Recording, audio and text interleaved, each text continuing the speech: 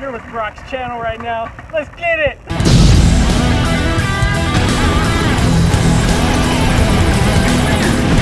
Get back! Follow! We're going on a two-year anniversary trip to Branson. Hope everybody's doing okay today. It's Brock and we're here with another episode of All About. Today we're going to learn about a very pretty little guy. He's a panther grouper. Now I know the video has a little baby one, but watch out, these dudes can get huge. So prices on them about 30 bucks. Nothing crazy for these guys. Tank size, they say a 300 gallon. That uh that does make sense. I know the ones that have gotten full size at our place, we they're in like about a 250. And uh, you know, of course, as the little baby that he is right now, you could put him in a smaller tank and then just grow your tank up and get a bigger one as he gets older.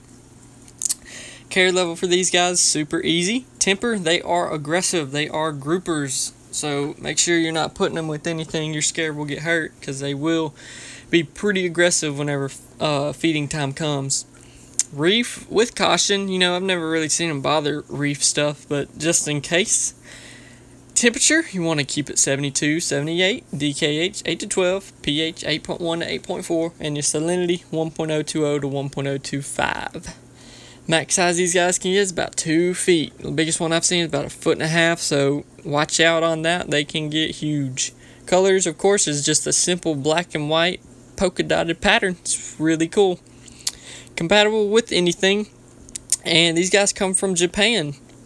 So make sure to feed these guys meaty foods like some shrimp and some krill, not krill, uh, squid, and maybe even some clams, but not don't make sure to take the shell off.